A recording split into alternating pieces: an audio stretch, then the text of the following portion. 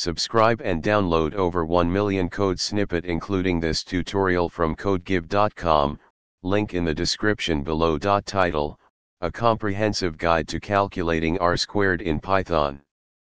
Introduction R squared, or the coefficient of determination, is a statistical measure that represents the proportion of the variance in the dependent variable that is predictable from the independent variables.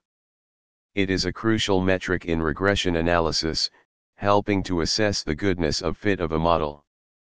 In this tutorial, we'll walk through the process of calculating R squared in Python using a simple example. Step 1, import necessary libraries. Step 2, generate sample data. Let's create a synthetic dataset for demonstration purposes. Step 3, Train a linear regression model. Step 4, Make predictions.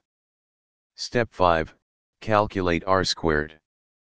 Now, let's calculate the R squared value using the R2 underscore score function from scikit-learn. This will output the R squared value, which ranges from 0 to 1. A value closer to 1 indicates a better fit of the model to the data. Summary in this tutorial, we covered the essential steps to calculate R squared in Python using a linear regression example. Understanding R squared is fundamental for evaluating the performance of regression models and assessing how well the model captures the variability in the data. Feel free to apply these concepts to your own datasets and explore more advanced regression techniques as needed. ChatGPT